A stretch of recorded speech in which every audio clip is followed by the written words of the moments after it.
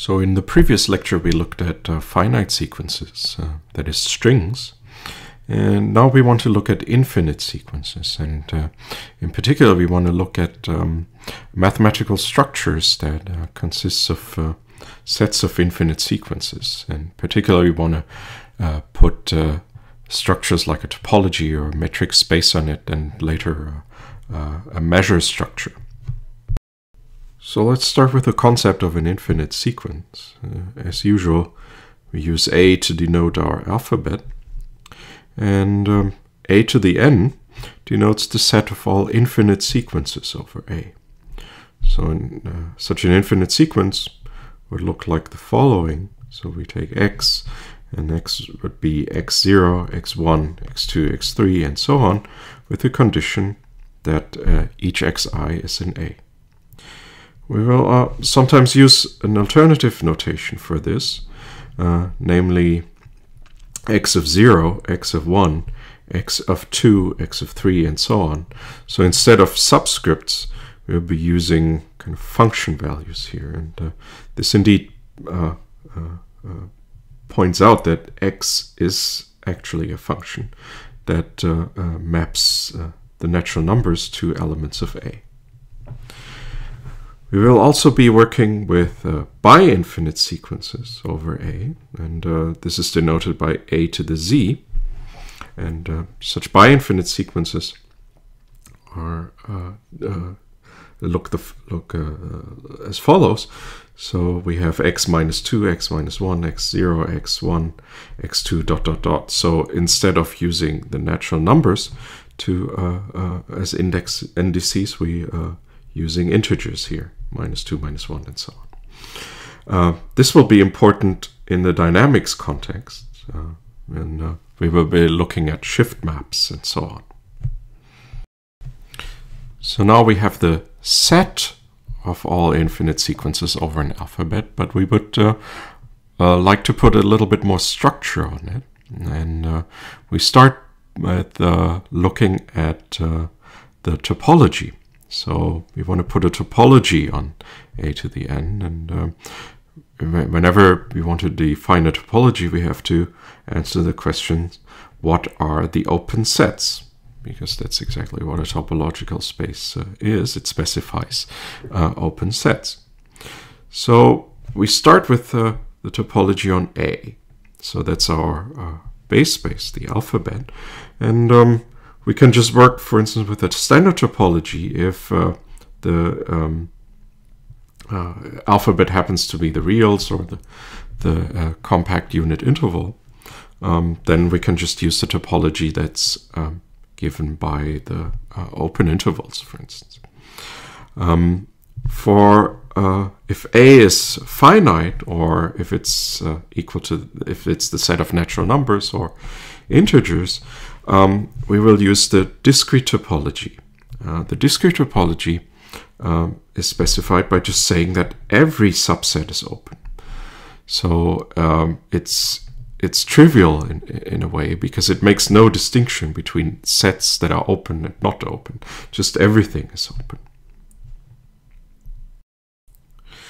So now to pass from a topology on A to a topology on A to the n, on on the sequence space, uh, we use the product topology. Um, the product topology is uh, defined as the smallest topology such that the projections um, that project an element of the sequence space a to the n to uh, the ith component here uh, so that these projections are continuous functions. Um, so what does it mean to uh, take the smallest topology? Well, it just means we have to add that many open sets and not more so that these projections, so these functions here, all of those for each i, become continuous. What does it mean for a function to be continuous? Well, it means that whenever I take an open subset of uh, A, so this is where we, we, we use that we already have a topology on A. Well, if we take an open subset of A, then the pre-image of the ith projection, p to the minus 1 sub i of u, must be open too. Or uh, likewise for closed sets, if we take a closed set of, f, of A, call it F, then its pre-image must also be closed.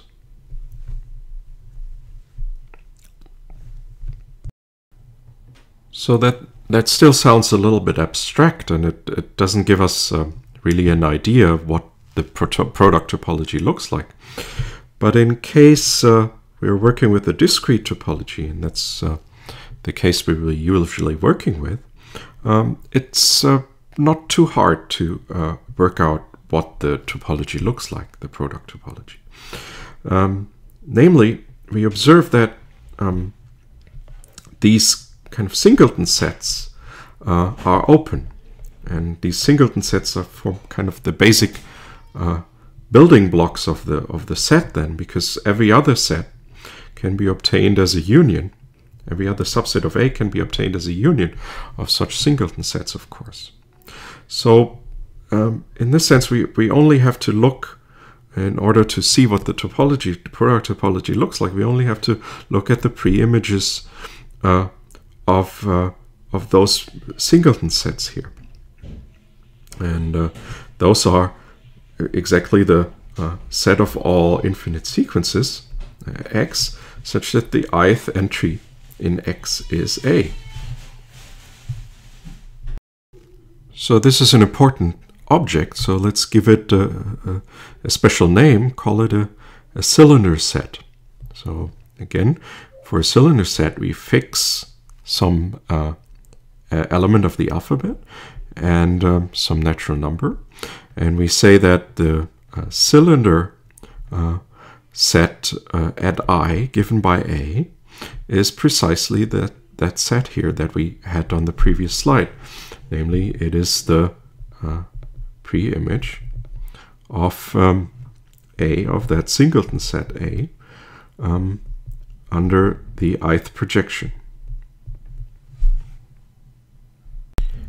So here's an example how you can uh, visualize these cylinder sets. So let's take the example where A is the binary alphabet.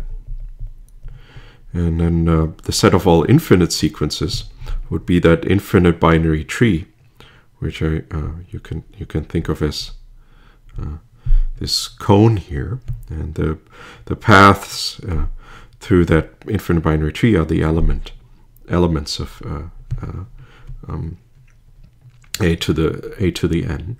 Um, so what does an uh, does a cylinder set in this case look like?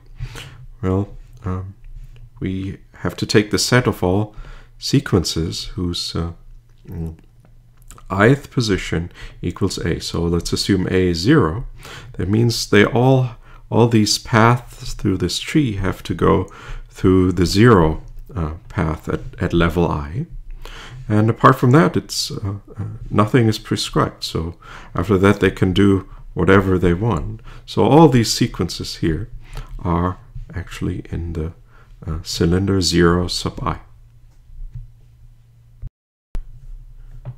So we know now that the uh, cylinder sets must be open because they are the pre-images uh, of an open set uh, in A uh, under the discrete topology. But uh, we actually want to uh, generate a full topology. And for that, um, we must satisfy some more uh, requirements. Namely, open sets must follow, satisfy the following things. Open sets must be closed under finite intersections, and they must be closed under finite arbitrary unions. And it's uh, not hard to see that uh, these cylinder sets that we just defined are not closed under finite intersections. That means uh, the, if I take the intersection of two such cylinders here, it's not an object of this form. So what we have to do now is uh, actually take this closure. In, in, in technical terms, what we're doing is to pass from a subbase or subbasis of a topology to a basis. So the uh, cylinder sets, those basic cylinder sets, form a subbasis, and now by closing it under finite intersections, we pass to a basis. And it's actually not hard to see what finite intersections of cylinders look like. So for instance, take a, a, cylinder A sub i and a cylinder B sub j, then the intersection of the two is just the set of all sequences that have um, A in the ith position and B in the jth position. So um, uh, these objects we obtain by closing under finite intersections are um, what we would call basic open cylinders now. And those are um, precisely the sequences that are uh, for which finitely many positions are fixed. So here, in this example, we would get a set uh, of infinite sequences which have exactly two positions fixed. So uh, essentially, the, the basis of our topology would be the set of all sequences which for which finitely many positions are fixed. Um, basis then means there's just that uh, every open set um, can be obtained as a, as a union of sets of this form. But we can make our life a little, even a little bit easier. Namely that we can, we can show that every any such uh, set of this form with finitely many positions fixed can be obtained from a cylinder of the following form. So from a basic open cylinder of the following form um, using operations of unions and finite intersections. So here now we look at a string sigma, let's say of length k.